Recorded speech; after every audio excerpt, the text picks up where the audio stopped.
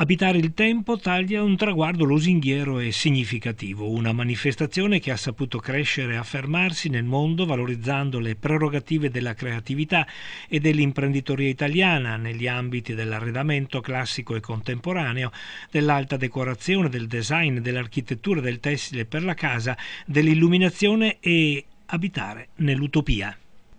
La rassegna veronese rappresenta una scommessa oltre la crisi del settore mobile arredo, crisi che ha origine dalla più grande bolla immobiliare finanziaria degli ultimi anni, colpendo pesantemente il settore del mobile nel 2008, provocando una forte caduta della produzione dell'indotto il 2010 ha cominciato a dare segnali diversi e quindi vi è una ritrovata fiducia, certamente questo non cambia assolutamente piccole e importanti tensioni, però insomma, credo che ci siano buoni motivi per guardare con un, occhio, con un occhio diverso questa situazione.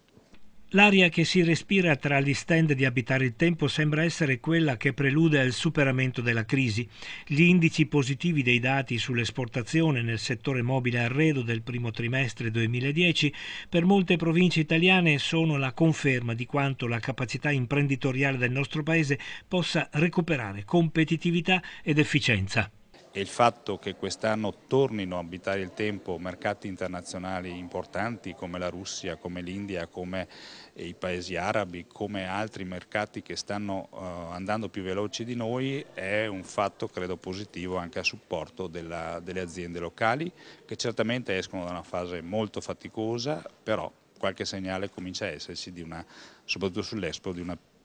tendenza a riprendere. La venticinquesima edizione di Abitare il Tempo è stata inaugurata dal ministro Brunetta e rimarrà aperta sino a lunedì 20 settembre.